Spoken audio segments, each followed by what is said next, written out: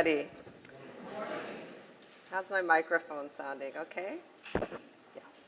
Uh, so, uh, several years ago, many years ago, when my son was maybe in third or fourth grade, so seven or eight years old, he went off on a hike with his dad. We live in Southern California, and he went to one of the canyons. Uh, and then um, when they were there, they found a pond that was full of tadpoles. And so, of course, my son is delighted. He hasn't seen these critters before. He dumps out his thermos of water, scoops up some tadpoles, and brings them home. Now, when they get home to me, I'm not super excited about these little critters, but dad assures me we're going to go um, to the aquarium shop right away and get stuff that we need to raise these uh, tadpoles into frogs. So they take off, and they're gone for a long time. Uh, and then when they come back, they have this huge aquarium and three kinds of sand and rocks and a special light. And my son is just beaming. And at first, I think that he's so happy because he just got all this cool stuff. But it turns out what he was really excited about was somebody he met, the aquarium shop guy. So it turns out that the aquarium shop guy, when he was about my son's age, went on the same hike to the same canyon, found tadpoles, figured out how to grow them into frogs, and he shared this story with my son with excitement uh, as part of the first steps to his journey uh, into his lifelong passion, which is uh, taking care of aquatic creatures. Uh, so it was interesting. Uh, for about two years, actually, after my son met the aquarium shop guy, uh, when he was asked that ubiquitous question, what do you want to be when you grow up? He would think and scratch his little head, and he would say, maybe I want to make robots, or I might want to design computer games, or I know I could be an aquarium shop guy. So there's going to be a lot of talk about technology and new cool stuff today in my talk as well as I'm sure through the day. Uh, but I wanted to start with this story because when I think about connected learning, at the heart of it is really relationships and the question of how we as educators can connect young people to their aquarium shop guys or how we can be aquarium shop guys for young people uh, those experts and enthusiasts who are passionate about their areas of interest and who want to infect young people with that passion as well as share that knowledge. So now my son is in college. He towers over me. Uh, and these days, whenever he has an interest or something that piques his curiosity, of course, the first place he goes online is online to uh, try to look around for um, information, for uh, communities of interest, and so on. So the question I want to be exploring uh, in this time we have together is um, what can we do to best support young people like your students, like my son, who are growing up in a context of absolute abundance of access to information, knowledge, and social connection. And this environment is quite different from the environment in which our treasured institutions of education were founded in, where we have classrooms like this, where uh, you know, we assume that knowledge and expertise is concentrated within particular institutional walls, that young people have to have learning sequenced in a particular way, structured uh, within um, institutions that are specialized uh, to offer these kinds of learning environments. But of course, um, and as Sarah's opening uh, story illustrated, uh, the world has around the classroom has changed quite dramatically so that young people have access to a much more abundant and free-flowing uh, source of information for them to not only learn from experts, but also be experts themselves. So um, I'll uh, first uh, frame a little bit about some of the research about what kids are doing today uh, with technology, uh, and then uh, some of my own research about young people and their online affinity networks. And I'll end with some examples of uh, environments that are educator-led or educator-involved that are seeking to leverage some of these dynamics for connect, um, building connected learning experiences. But first, since this is, you know, the start of the morning, I wanted to engage you in some, I, I hope you'll indulge me in doing something a little different, just to get into the mindset of kids these days. So um, a simple uh, digital youth quiz about uh, what kids are doing uh, with technology these days. So what I'm going to ask you to do, uh, I'll show you your first question soon, but if you could sort of turn, um, and if you're sitting on your own, maybe scooch in so you can have groups of maybe three or four to do some problem solving together. And I'm assuming that all of you brought your phones. So There'll be just a simple technology texting or thing. Um, so what I'm going to do is I think I have four questions, and I'm going to ask you as a group to come up with your best guess on your answer to that question. And I'll give you just about a minute to deliberate as a group. And I also ask you to please resist the impulse to Google for the answer to the question, even though I know that's what we're talking about today. Uh, and then I'll tell you the answer from that's from the research. So the um, so the first question is actually I'm going to show you. I'm doing a new, trying a new platform here. So let me see if I can get. This is the first question, and I think what I need to do is toggle over to the system and. Um, I'm using this, uh, okay. So this is the first question, and then when you have your answer to the question, um, one per group, somebody go to www.menti.com, use this code, and then you can enter your answer. Okay, so you have one, one minute. What's your best guess to this answer, to this question?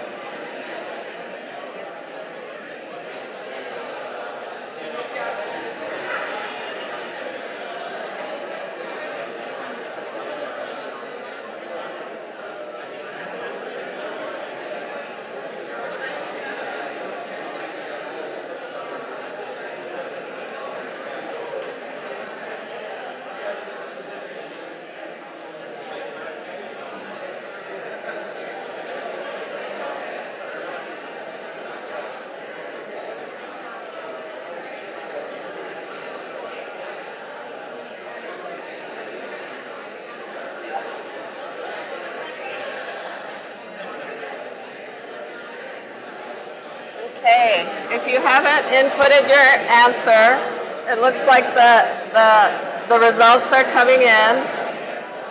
Um, I see everything from uh, between, I think I saw, oh, 5% might be the lowest I've seen, and I think I've seen as high as 55%. Okay, how are we doing? Everybody got their answer in? Okay. So I think I've seen a really pretty good range here from 5 to 55%, I think was the, the um, biggest number I saw. You ready to see the real number? This takes take a minute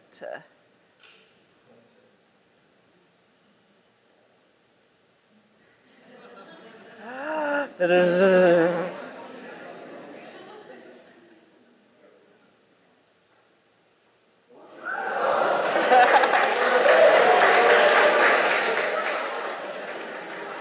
Um, so I did not see a number this high, uh, and this uh, surprises most people. Uh, but I like to start with this just as a reminder that even though young people are texting and on YouTube and doing all these, engaging in all these different kinds of literacies, it's not that traditional forms of uh, reading and writing have gone away. And I like to cite some of the work by Andrea Lunsford at Stanford, who has looked at uh, reading and writing practices of college students and how they've changed in the past 20 years. And uh, she's found that the volume of writing, uh, reading and writing has expanded dramatically, right? Because so much of communication now is being done over written form. Uh, but she's also analyzed uh, the differences in how today's students write uh, versus um, uh, an earlier generation across a wide range of university and college settings. And she found that even though um, the nature of the errors that students make has changed during that time period, 20-year time period. Uh, the number of uh, errors has roughly stayed the same. So uh, it does mean that students do actually understand the difference between a text message and a college essay, but the nature of their literacy practices are much more uh, social and communicative than earlier generations. Okay, ready for the next question? Okay, so this is the next question. It's about um, how many hours per day did US teens age 13 to 18 spend with media, and this does not include uh, school and homework.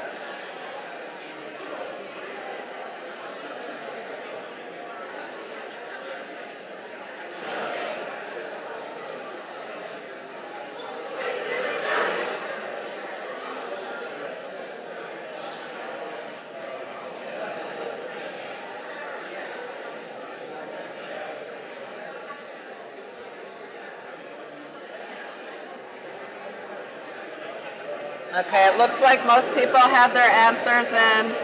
Uh, they seem to be ranging from about three to, I think I saw 10 as the highest. Are folks wrapping up? Okay, so I saw a pretty good range from about three to 10. Ready for the real answer?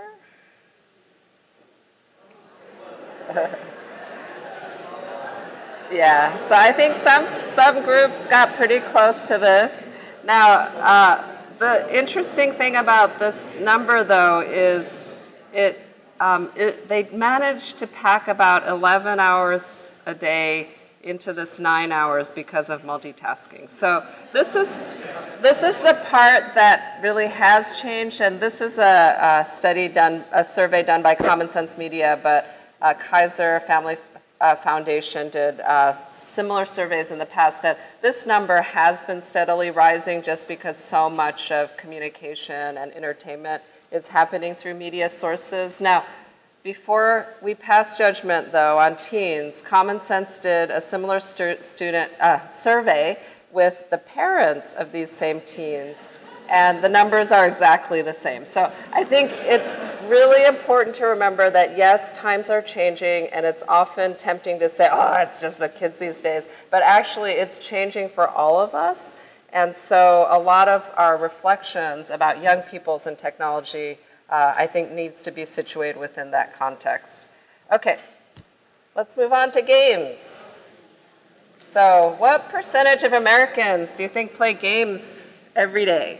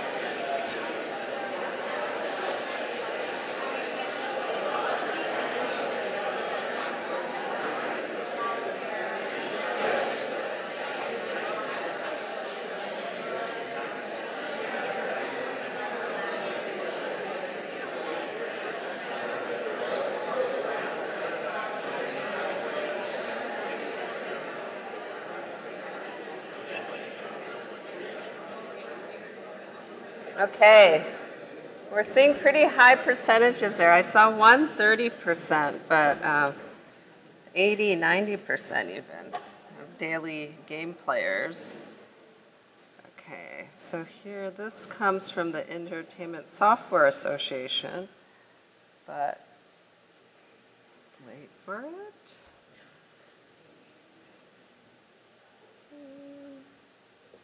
No. Okay. No, it doesn't want to go back to this one. Okay. This is going to work.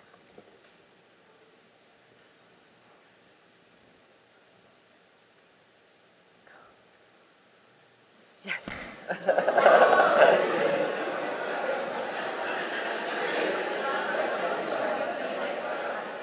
so remember, this is daily, daily, daily gaming. Now, if you ask about just do you play games, obviously that number is much higher. Uh, gaming um, really is the dominant entertainment medium of our time. Uh, and I think that's something that we're really still coming to terms with. It uh, outpaced the movie industry in terms of market size and revenue, I think 10 years ago. Uh, and it has crossed gender lines too. So uh, virtually all teenagers play games, and you know the gender split has kind of hovered at that upper 45, 48% for women uh, for some time. So again, this is one of the things that has changed. Interactive uh, formats in media have become a dominant expectation. Okay, last question about friendships. So how many teens aged 13 to 17, this is a 2015 survey, have made new friends who they didn't first know in real life online?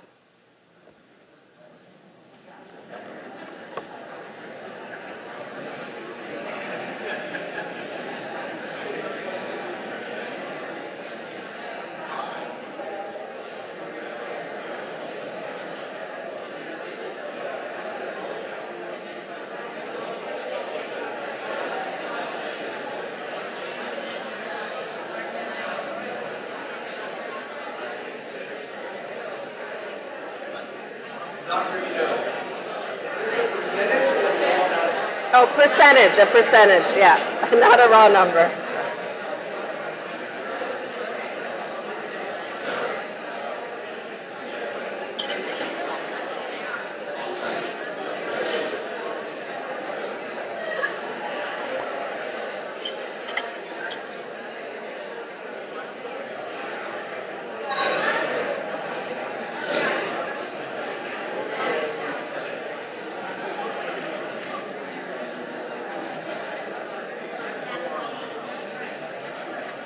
Okay, this one's an interesting one. I feel like there's been a pretty wide range between 10 up to, I saw even 100%, so it's not a consensus on this one. Okay.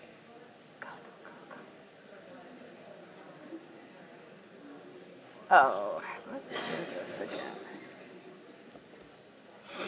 Sometimes it wants to see it, sometimes it doesn't.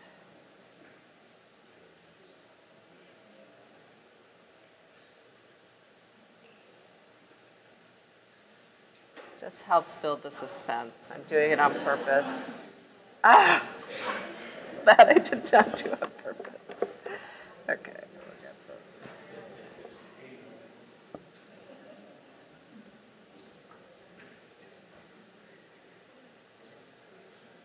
There we go. Okay, there we go. Yeah, so I, this one is really interesting. I find that when I ask people what their um, assumption is about this. It tends, people tend to think it's higher than what uh, youth actually report. Uh, when we did our research, the Hangout book that Sarah mentioned, which was the field work for that book was is now about 12 years old.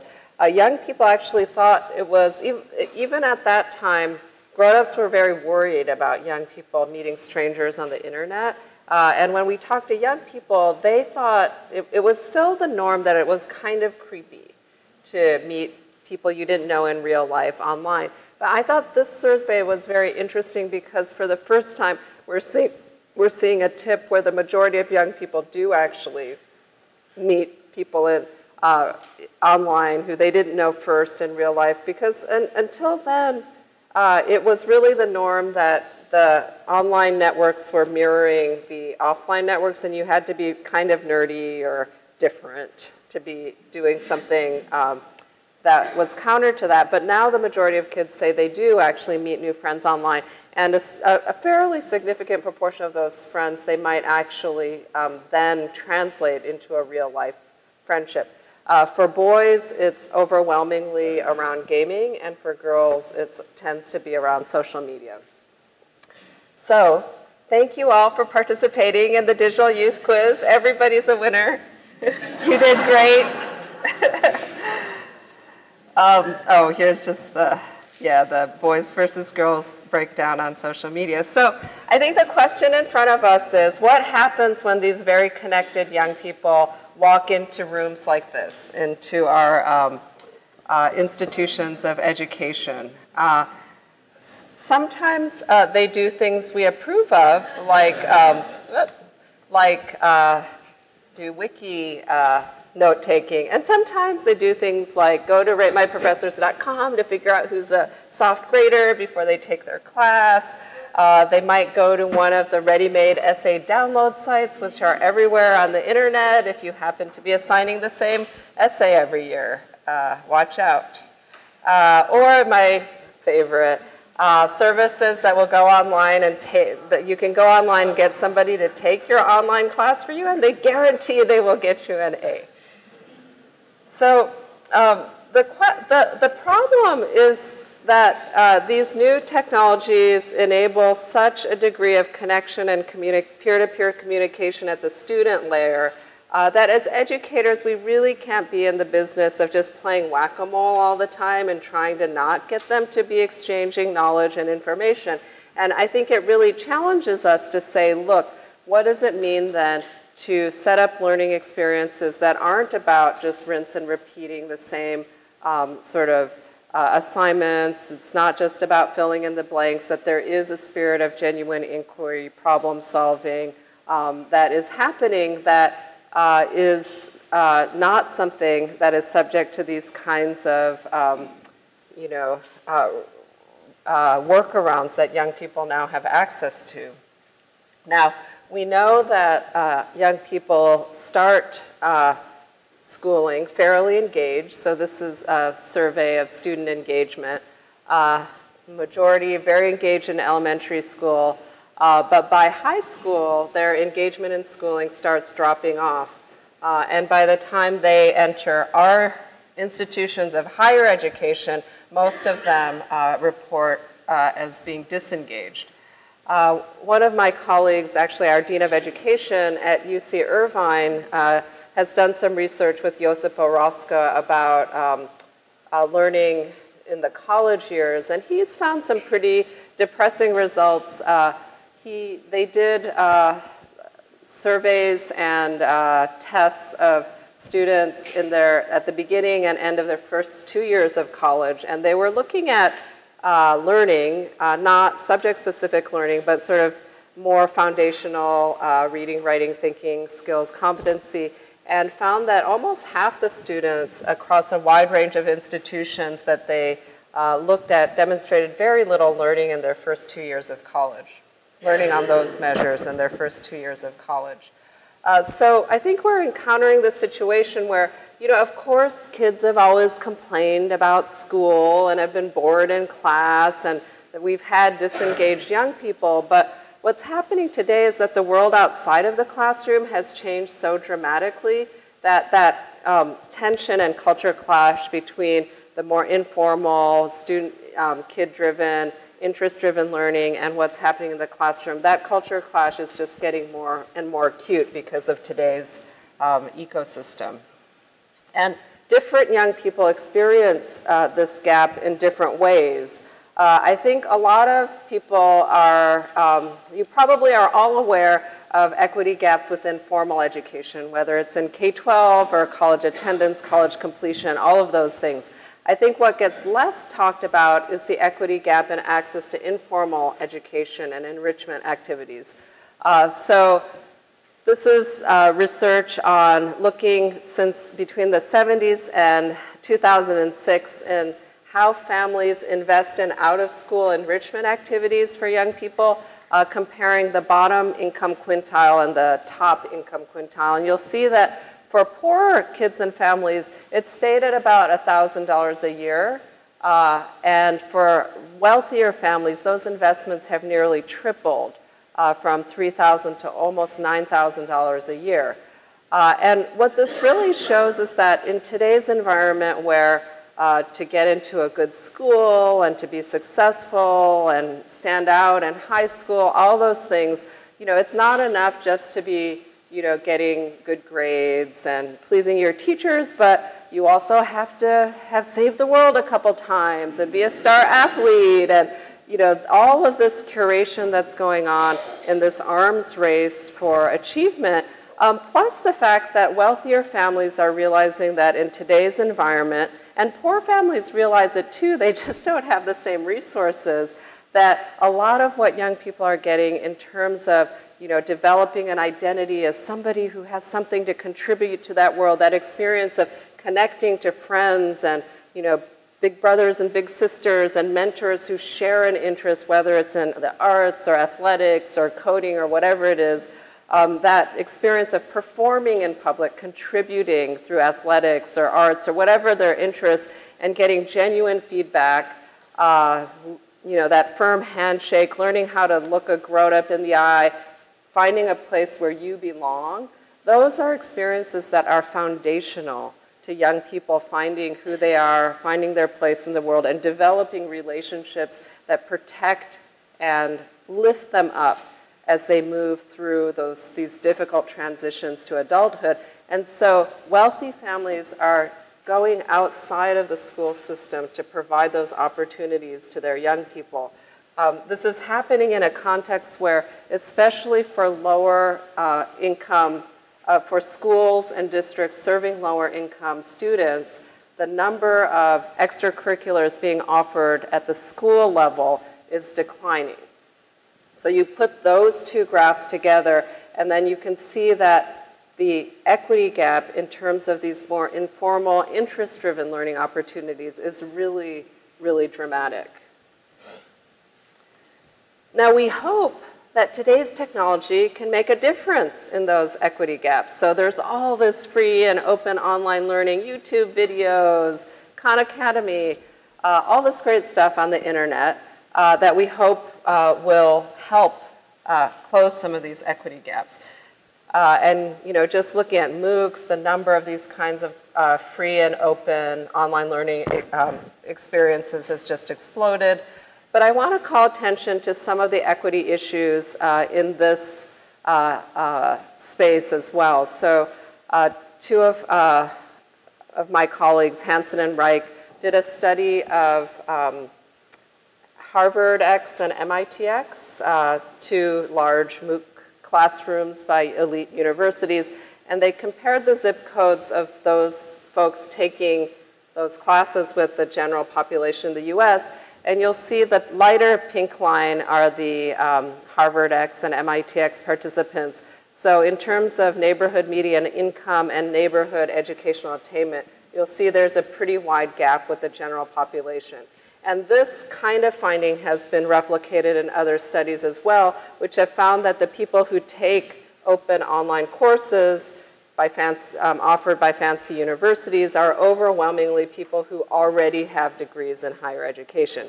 Now, that doesn't mean that these resources don't help everyone, but they help more privileged people at a greater rate than less privileged groups. So they, again, Hansen and Reich describe this as the difference between a closing gaps and rising tide scenario.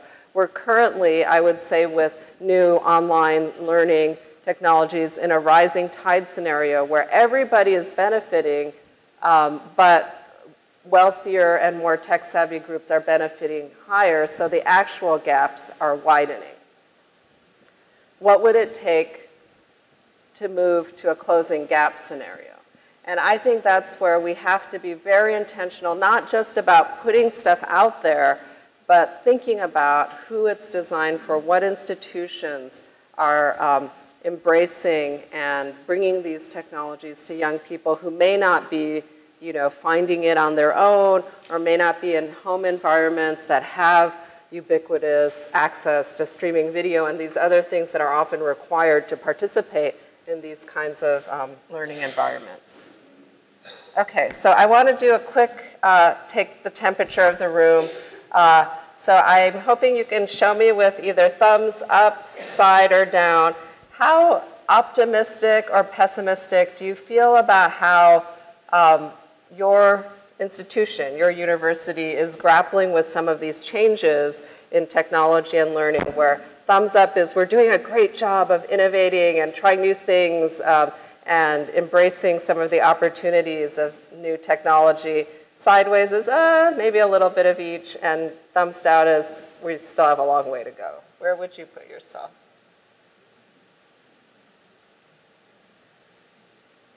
Okay, a couple thumbs down, but it's a pretty diverse mix of opinions. Okay, now I want to ask the same question of how do you feel about kids these days? Are they like, are these new technologies helping make them smarter, more engaged, and better in most ways? Um, thumbs down is distracted, narcissistic, and not so good. I think you're more optimistic about young people than about your university. but there was a pretty good mix there, too. Thank you. Okay, so I'm going to transition now to uh, make it a little bit more concrete, some of these bigger trends. Uh, the work I do is really more in-depth case study, uh, youth-centered work, ethnographic work. I'm an anthropologist by training, so mostly I hang out with kids on the internet and play video games with them and try to understand uh, what the digital world looks like from their point of view. Um, and uh, Sarah mentioned the, the two books that are in this vein. Um, so I think that I, I, love talking to educators and parents about these issues. Um, I think that often, uh, especially for educators and policymakers or uh, technology designers, we're putting our institutions and organizations at the center of our concern, which makes a lot of sense. But, um, you know, that's where I think it is important to, at times, think of, um, shift the lens to think from a learner's point of view, a learner who's situated within a complex web of institutions that they're trying to navigate. And our university or our classroom is just one of these many sites of learning that they're navigating in their everyday lives. So I want to start with an interest that might be a little bit challenging for all of you. So I study um, a lot of different youth interests, and the one that seems to get the most eye rolls from educators is uh, tween girls' love of boy bands. So let's just start there.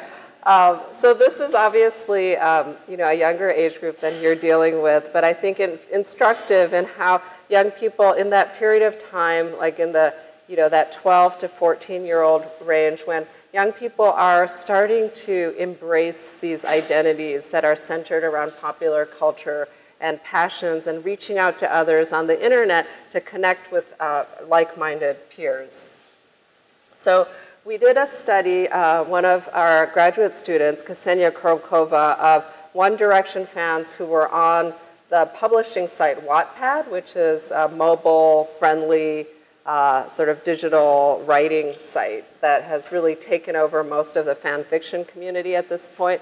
Uh, and it was very interesting uh, seeing what she uh, came up with because the young people narrated their connection to each other through this um, fan fiction writing in ways that were very um, strong and profound. And uh, even though at the time, you know, obviously this research was a few years old and One Direction was like a huge phenomenon and there, like in any, you know, middle school or high school, there were tons of girls, mostly girls, there were boy fans too, but uh, who were really into One Direction, but it was so stigmatized within the school and the peer group that they felt they had to go online to really be able to get their fangirl out and really connect with other girls in a way. And you know, they talk about being a di directioner has made me so, so, so many like-minded friends, national and international. This one girl, 14. It was so sweet. I made my first ever true friend around two months ago.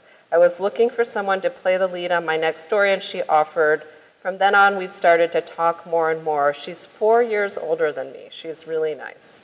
So, where else do kids these days have the opportunity to interact in mixed age communities where they're connecting with older peers around something that they really care about? When that connection happens, it's really profound because there's so few contexts in the way that we've segregated young people by age, the way that we limit their mobility through different spaces uh, for them to find these kinds of connections.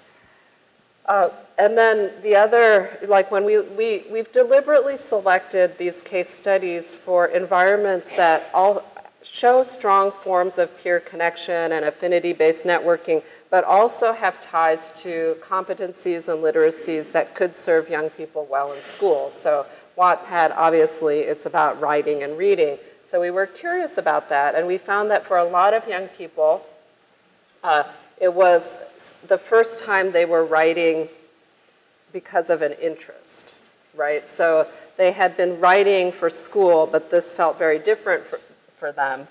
Um, and have, looking at the transcripts of, you know, Ksenia interviewing these kids, it was very interesting because you'll see through the course of the interview that they start reflecting on their own identities as readers and writers. So I write silly stories. When I think of a writer, I imagine a serious guy or girl sitting on the desk, typing on a typewriter, drinking coffee to stay awake through the night. But then he laughs and says, well, in a way, maybe I am a writer. Uh, but uh, the thing that was very consistent, though, even though they might be exploring these identities as writers, is that they don't let their teachers at school know that they're engaged in this activity. So I mean, the school doesn't encourage it. They don't really know that 80% of the girls in our grade have Wattpad. Ah, so you don't even tell your teachers. No, no, it's like a private thing between students and friends. And so this is the part to me that seems like a real missed opportunity. That we've so stigmatized what young people are doing online, assume that it's a waste of time, especially something as frivolous as boy band fandom, that young people don't feel like they have the permission or openness to be able to explore those kinds of interests in the context of a school setting. I mean, there are girls who are reading hundreds of pages of fan fiction, writing hundreds of pages of fan fiction, and they tell us, I'm not a reader, I'm not a writer, because that, those words have become so strongly associated with what happens in school. Okay, let me walk through this in the case of a specific young person. She was 14 uh, at the time we, uh, Ksenia interviewed her, and she was both a Potterhead and a Directioner. Uh, she, uh, when she got her first mobile phone, she started accessing a wide range of fan fiction through Wattpad, and uh, she got the courage to start publishing her, her own writing on Wattpad. Uh, and then she started getting feedback um, you know, very much like what Sarah was describing with the young man and her and his YouTube videos, and started getting a following. Uh, and uh, so her trajectory started, like in her case, it was a popular culture interest. She wasn't a writer before that, but then through Wattpad, she found a set of a community uh, with a set of interests that, that were, were similar but also encouraged a new practice, a practice that was new for her, which was around writing, reading and writing. And then the interesting thing about uh, uh, her case is that her mother was actually really supportive, and she was open with her mother about uh, you know what she was doing on Wattpad. And eventually, she um, her mother supported her to apply to uh, a special high school that had a stronger emphasis on writing. Uh, and she was a fairly shy kid, and it was a big step for her to have the courage to go to a different school. But um, she really credits that development of both the interest in writing, but also the confidence to do something like that to her participation with the Wattpad community. So the moral of the story is not that the internet creates connected learners like her, but that it actually doesn't. Uh, unless there are positive support, supporting relationships that are making that happen. In fact, uh, when, you know, we've interviewed hundreds of young people, and we find that most young people are really struggling to connect uh, their interests, their identities to what's relevant in school um, and other and career and other settings. So usually what we see is that there's some sort of interest that young people are exploring in home. They're often, you know, have an online environment that might support that interest. There may be some uh, organizations in the community that are arts organizations or technology organizations that support it, but very little connections to school for most kids. Uh, and part of the problem, I think, is that when we think about education, um, we think of it as a pipeline where our goal as educators is we get them in elementary or pre-K, and then if we can keep just like pushing them up to the next step in the pipeline, uh, college readiness, get them into college, and then you know they'll have a launching pad for an amazing career. Uh, but when you talk to young people who have been successful, especially in some of these more high tech or creative type careers, their support network actually looks a little bit more like this, where the formal pathway is incredibly important, but there's an incredible network of uh, supports in the family and the community through those enrichment activities that families are investing in uh, that are um, that kind of protective web that keeps them both engaged in school but also captures them and protects them when they start going off the rails or if they can't find a point of connection within the school environment. Um, so as educators, I think the, um, the question is what can we do to more intentionally help support the connections between these different environments? And you know, we've all been trained to think of ourselves as content experts and sharers of information to young people, but I think more and more in a networked environment, we have to consider our role not only to be uh, experts uh, and instructors, but also to be brokers and connectors across different environments, and to think for those of you who are on the administration and policy side, to think of what kinds of policies might allow that to happen a little bit more seamlessly so that we can really understand and be open to what young people may be doing in these more informal environments and also consider connecting them to mentors, specialized um, organizations, even if our own organizations can't meet those learning needs. Um, so again, we come back to this question. Um, you know, it seems like a very complicated issue. How do you support a connected learning environment that's so complex, multi-institutional, where learning is happening everywhere? But at the heart of the matter, we're really just back to the aquarium shop guy. What do we do to help young people find the mentors who they feel a genuine connection to, whether it's through you know, an interest, whether it's through other kinds of identity, um, you know, background, ethnicity, culture, all these things matter in terms of young people finding uh, connection um, and inspiration. Uh, so I want to ask if you all could do just a quick pair and share. So turn to your neighbor, or if you're three people, that's fine. But I want you to reflect for just a moment about your childhood, or it can be in your professional life as well, of some person in your life who really, uh, you really uh, felt a connection to and who helped uh, introduce you to something new, push you further in something that you were already interested in or supported you through a learning challenge. If you could just share uh, one person in your life, or it can be an author or you know somebody you, it doesn't have to be somebody you knew in person too. So let's just take one minute, 30 seconds each.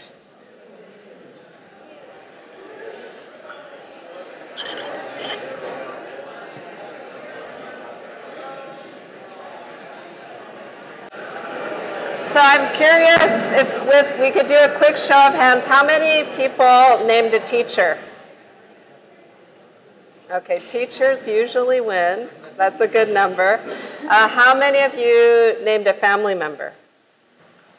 Okay, that's a good number. How about a uh, coach, um, teacher from an informal environment? Okay, fair number. Uh, how about a friend or colleague? Um, faith leader? A couple? Anybody, any category I missed? Oh, employer, that's, sorry, what was? Professor, okay. Did, yeah, I don't know if teacher and professor was, yeah. Author. Author, great. Sorry, what? A boss. Professional development, is that what you said? Or somebody said? Oh, neighbor, okay. So it, yeah, this, this range of uh, answers to this question really um, attests to the fact that you can find learning heroes in all areas of your life, but then there's definitely a critical mass of people who find their learning heroes within our educational institutions. So those of us who are tasked professionally to play that role are incredibly important uh, but there's also, I would say, about half of the folks named somebody who was in an environment other than a formal teaching profession. So the importance of these connections, these, these learning hero connections, is borne out in the research. I'm not just saying it. So this was a big study that uh, Purdue and Gallup collaborated on. I think they interviewed 20,000 uh, college graduates across a really wide range of institutions, big schools, little schools, elite schools, less selective schools. And they found that there were two things that really mattered for life thriving. And by that, they meant more than just like having a good job. It was about health and connection to community and all kinds of things. Uh, one thing that mattered was projects that lasted more than a single uh, term. So some kind of project, it could be classroom, it could be extracurricular, but it was an indicator that they were engaged in something that transcended, that was connected, right? That transcended a particular class. Uh, the other thing that mattered is the learning hero.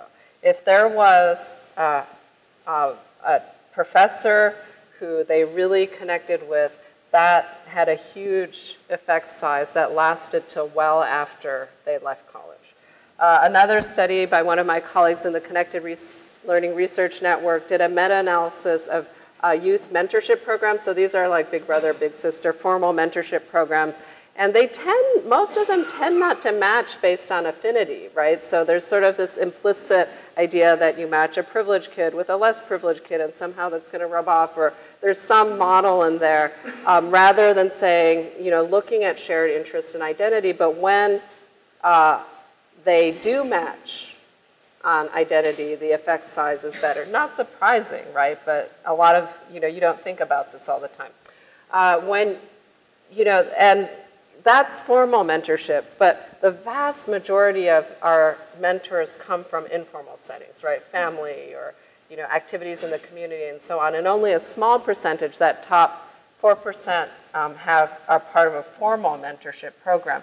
And again, just to return to some of the issues around equity, uh, you know, affluent youth have a wider range of informal mentors across, uh, I think, all of these categories like family, religious, or youth group leader, coach, counselor, teacher, um, and then uh, more educated parents have broader social networks. So these are asking, um, you know, do you know a professor or congressman, things like that. Again, not surprising, but really important to remember that uh, a lot of the kind of learning that we've been looking at for connected learning uh, is based on these kinds of learn, you know, being able to find your learning heroes and relationships, and those opportunities aren't equitably distributed. Uh, so Justin, I know I'm running a little bit, I'm running close to my, the end of my time, but I wanted to, before I end, give a few examples of environments uh, that have been designed with principles of connected learning uh, in mind. Uh, and uh, connected learning is not only a way of describing a kind of learning where, uh, you know, in a nutshell, it's when kids are doing something they care about, that they feel interest and affinity with, in the context of caring relationships with peers and mentors who share that interest and identity. And the important thing is it's tied to opportunities of finding their place in the world. So it's not enough for a kid to just be geeking out on something they find cool, but connected learning is about connecting that learning to academics, to civic engagement, or career relevant opportunity. And we've designed, or we're, this is very much a work in progress, so I always welcome feedback, but there are, after observing a lot of these environments and practice, we found there's certain characteristics of environments that embody connected learning. Uh, one is sponsoring youth interests, um, shared practices and shared purpose, and then connections across setting. And I'll walk through a couple examples to show how that manifests in practice. Uh, I also like to stress the fact that we are not saying that all learning has to be connected learning all the time. Sometimes kids need to learn things they're not interested in. And sometimes they need to just be able to muck around with their friends and it not being about like a line in the resume or getting good grades. So kids need space to just be kids and be interested and have friends. Uh, but we do believe that every young person deserves to have the opportunity to experience connected learning because unlike other forms of learning, there's so much bang for the buck. It's not just about acquiring skills and knowledge, it's about finding your place in the world, it's about finding who you are, it's about finding your people, it's about deep senses of belonging and purpose that drive the learning and drive kids' uh, development that's social, emotional, cultural, as well as about being what's in the head. And so our goal is really to say it's like kids are going to be learning all kinds of things in all kinds of settings, but can we create environments that, you know, um, facilitate their finding their thing at, this, at the sweet spot? So I'll start with just a couple of examples in higher ed that are, you know, when people see the model, it seems very difficult and complex.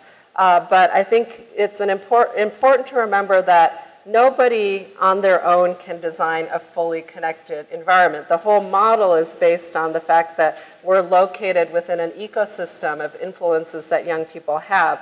And what may seem like nothing to you could be life changing to a young person if it's located within the sweet spot. So an example of just, you know, what are the kinds of openings you create. So this is an example from a professor um, at UNCSA who he was a writing teacher, or he is a writing teacher, and uh, what he did was just uh, start um, having their ki his kids blog instead of writing traditional essays and blog about something they care about in their everyday life.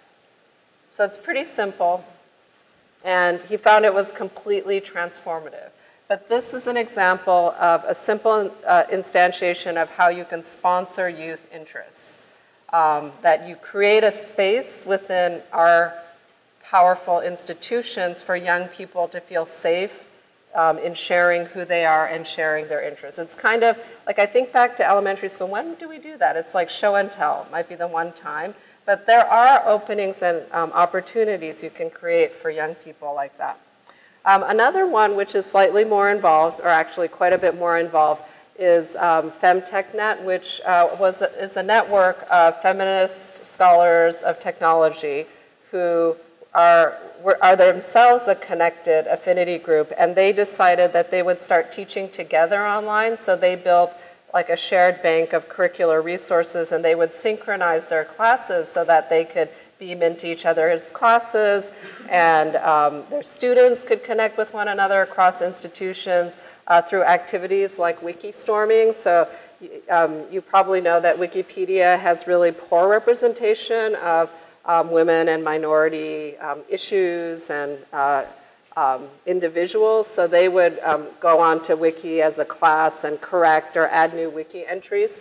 so that's an example of you know, just a way that you can you know, it's grounded in a shared interest, but it's embodying the principles of shared purpose. I think when you're doing justice-oriented work, that purpose can be very powerful, um, and that is also driving that connections across settings so that they're building capacity both at the faculty and student le level to connect both across academic institutions but also into real world institutions like Wikipedia.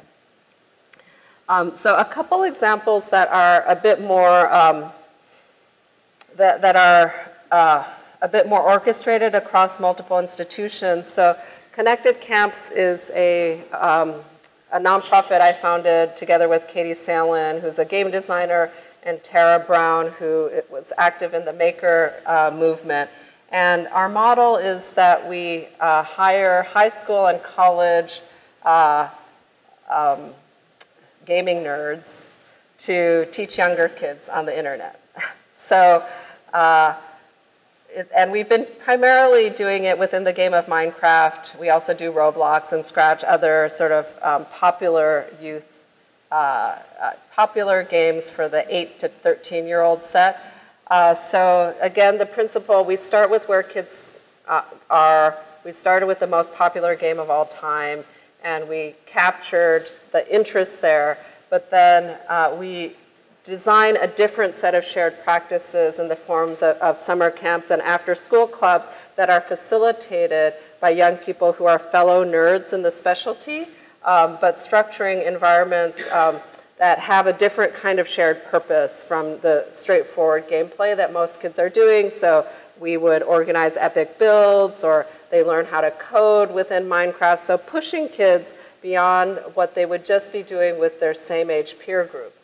Uh, and, you know, again, because uh, Minecraft is such, uh, like the ecosystem around Minecraft is amazing, whether it's YouTube or um, you know, all these other, you know, Minecraft wikis that whatever their kid, the kids are doing, a lot of them start publishing their own Let's Play videos or um, experimenting with other mods. And so what, whatever we're doing within our community is also connected to this broader Minecraft community. Uh, another gaming example, we've been collaborating, uh, Connected Camps, our nonprofit, does the coaching for the National North American Scholastic Esports Federation. That's a mouthful. Uh, but esports has obviously become a huge thing. And uh, we're trying to figure out how to um, build connections to school that's productive. Uh, so again, sponsorship of youth interests, you know, competitive video gaming is the thing these days for young people. Uh, but then shared practices, you know, obviously kids are playing competitively at home, but uh, relatively few high schools know how to run their own esports uh, clubs and teams. So we provide the training uh, infrastructure for the league and for um, what it takes to be a GM and other, um, and then we provide the coaching virtually because a lot of high schools don't have the expertise to coach. Uh, and you know, games are great because tournaments drive shared purpose. It's built into a lot of esports. Uh, and then we also support uh, the connections to a in-school curriculum around um, in the, uh, on entrepreneurship related to esports, um, as well as do our best to connect with the parents so that they understand the positive value that esports can have in kids' lives and how to structure gaming engagement in a positive way for their young people. And the last example uh, is in a library space. Uh, the YOUmedia, it's a network of digital maker spaces and museums and libraries across the country. The very first one was founded 10 years ago in the main Chicago downtown library. Uh, and it was um, designed by uh, Nicole Pinkard's team in the Digital Youth Network um, in partnership with Chicago Public Library and designers at Carnegie Mellon. Uh, and Nicole, she, when she started the space, she very intentionally staffed it with teaching artists who embodied the identity and the interests and culture of the youth in Chicago that she was trying to serve. So they did music and spoken word and graphic arts and things that they knew would attract the young people in the area. Uh, and then around that, they offered you know, resources like a sound studio and good computers and things, but they also had shared practices, like the spoken word uh, group would have a weekly open mic session. Uh, the um, music kids, they produced a record label. So it wasn't just about showing up at the space, but doing epic things together.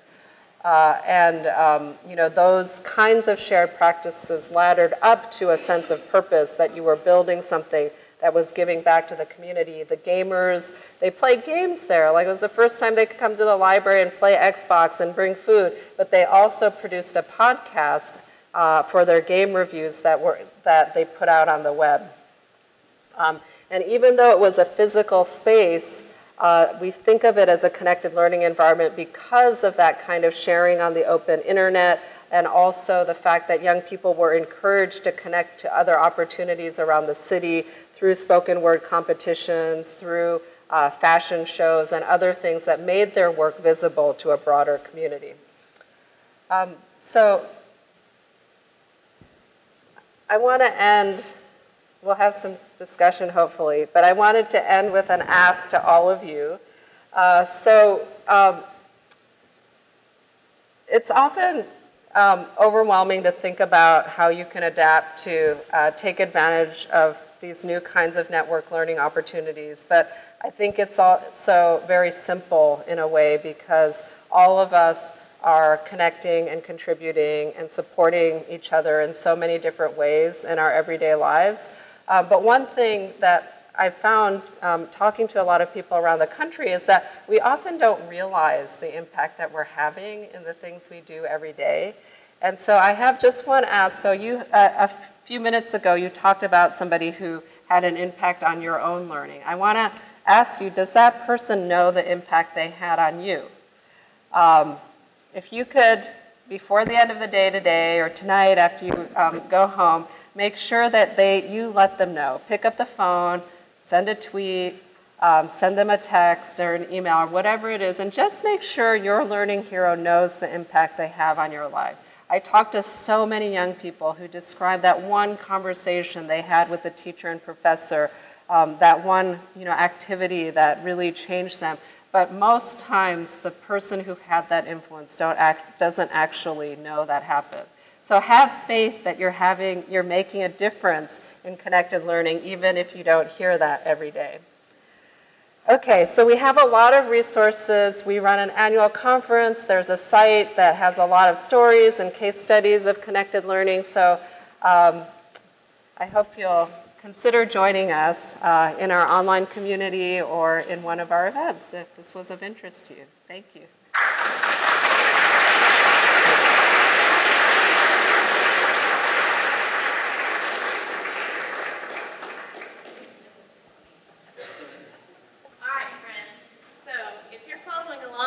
agenda, we have until about 1040 for questions and, and dialogue with Dr. Ito about her work and about the keynote and the intersections that you see in your work and the things that are working in your spaces. In the back. Should I use the mic though? Well, maybe not. We hear you great. Yeah. Okay, good. Uh, I'm thinking about accessibility. So um, and this is a, it's a vulnerable question in a room full of educators. It might be a little naive, but I'm curious to hear you think about this question. Um, we're in a, a area where schools are really segregated. You talked already about sort of achievement gaps.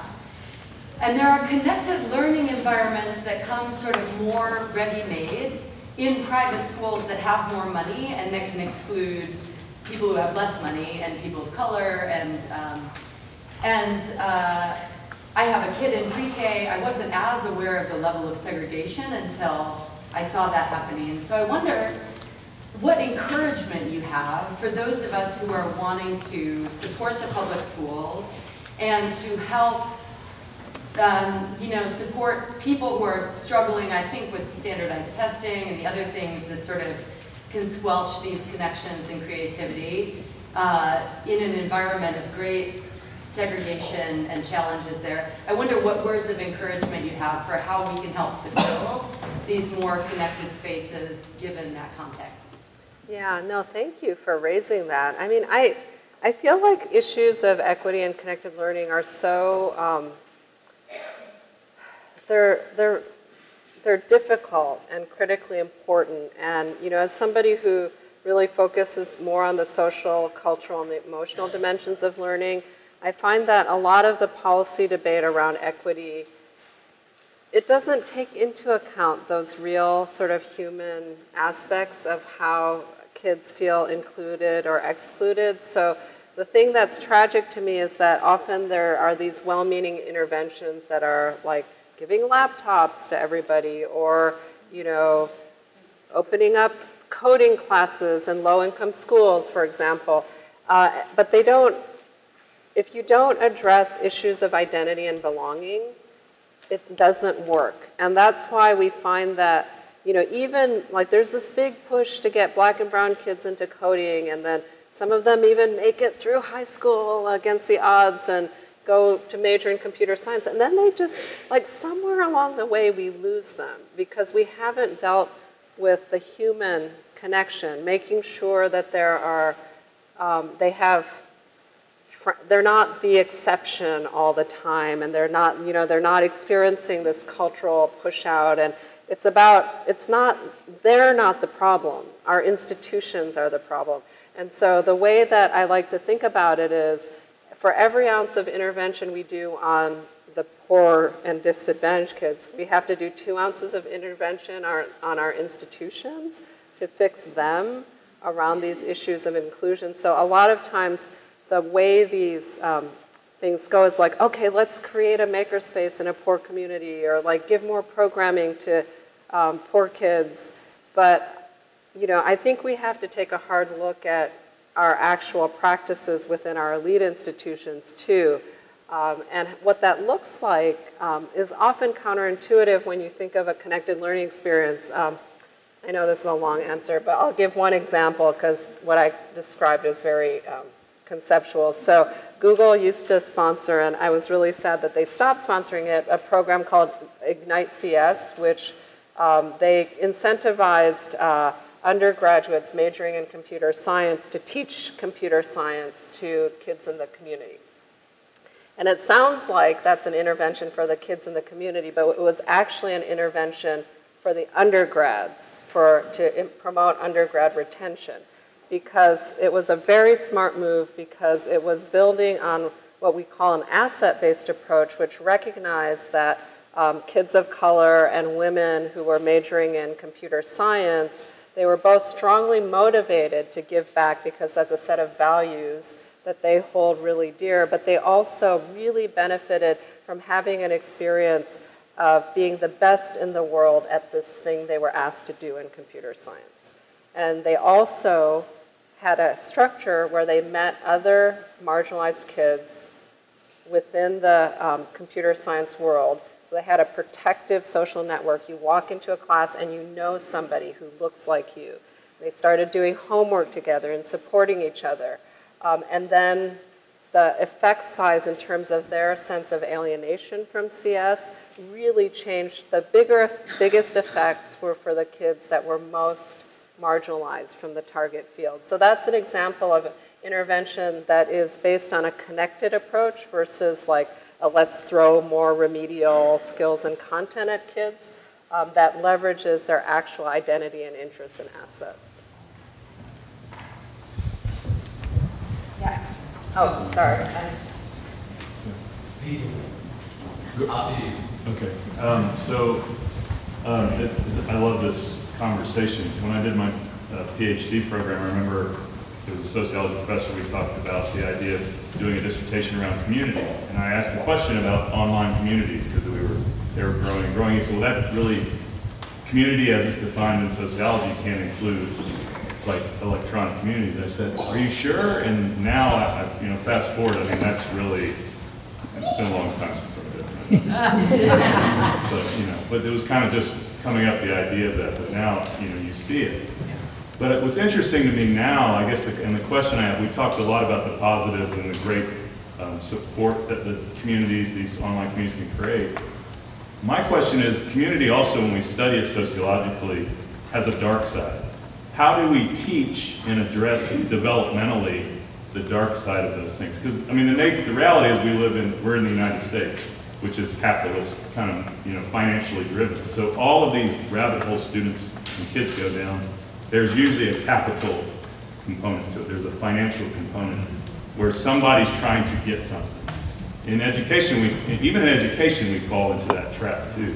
So I guess that's the question I'd love to hear some discussion on is how do we balance this wonderful, amazing growth of technology with kind of the darker side of you know, humanity, really, that comes into play. It's built a little along the equity piece, but even more so, you have these minds that are they can go down a rabbit hole, a good one with the right guidance, or they can go down a really bad rabbit hole and never come back. and that, you know, you see that in counseling and therapy too. So I just, I'm just Yeah. throwing that out there as a conversation because I feel like we go on one path without talking about the other side and, and that balance.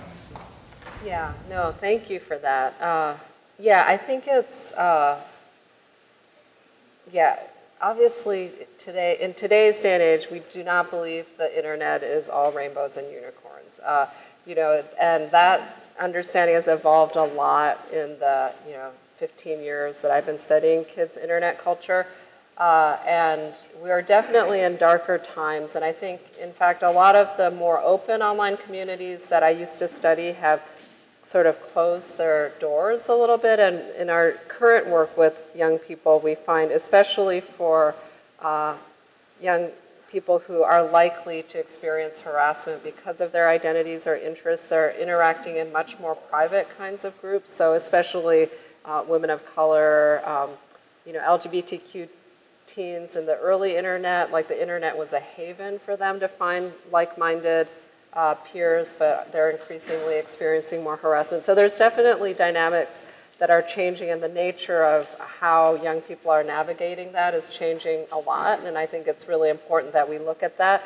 And uh, you know, I have a lot of colleagues who study the darker side of the internet. You know, there's definitely just as many kind of negative interests, forms of radicalization, um, and so on. It's not my focus. Um, so that's something just to clarify methodologically. Like I think it, it takes an ecosystem of approaches, right?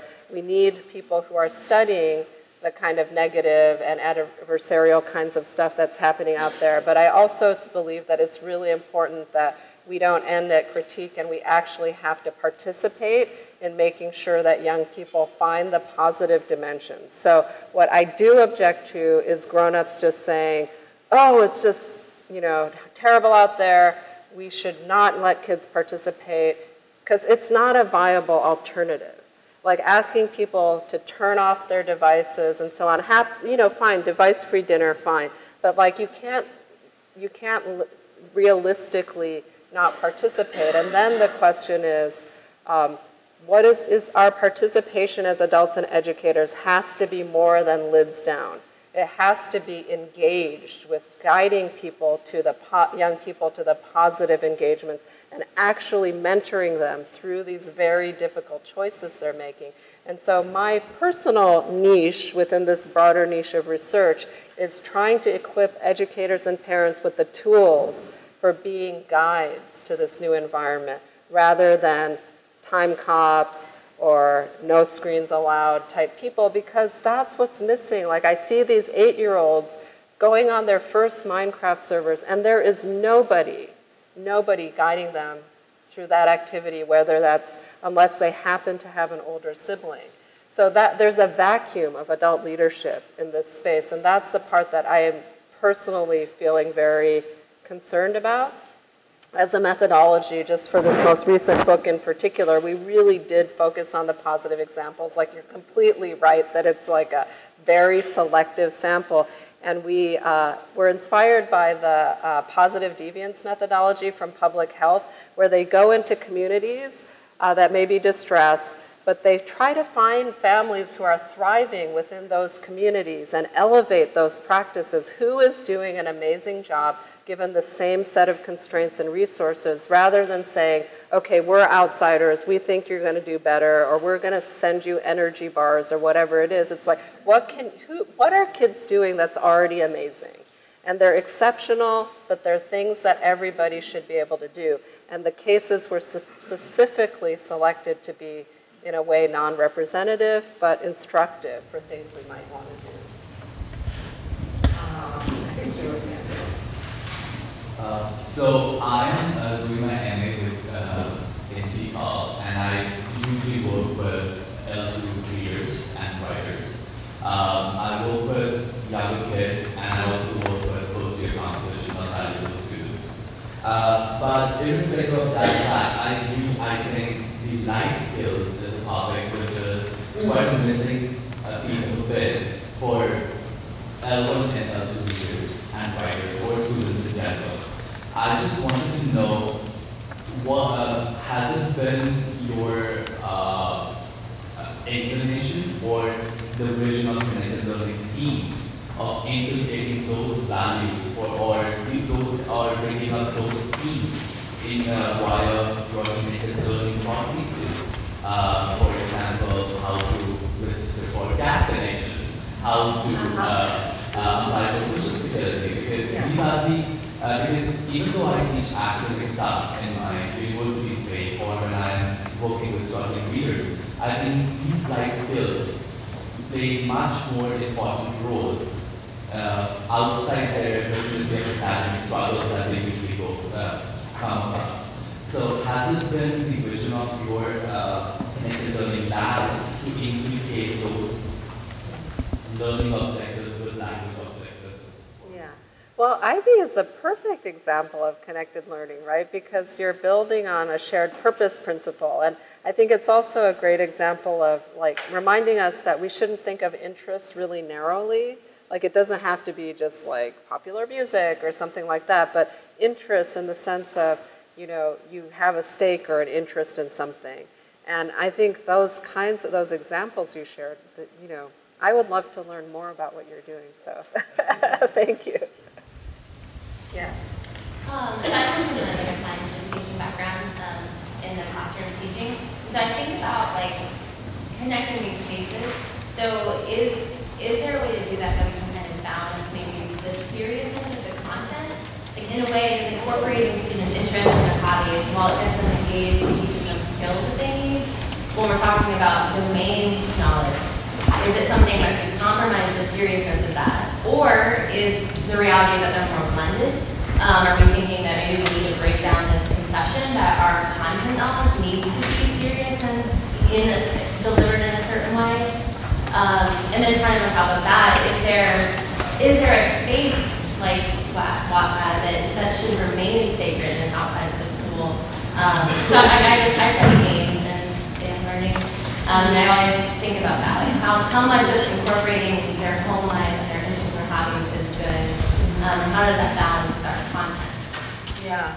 No, you're asking the really hard questions, you know, because it's like I remember when even on the blogging example when you know blogs were first taking off, we had an initiative around social media and the classroom, and when we first brought the idea of blogging um, for class to the students, they were like, "What? That would be like blogging with my mom. That would suck."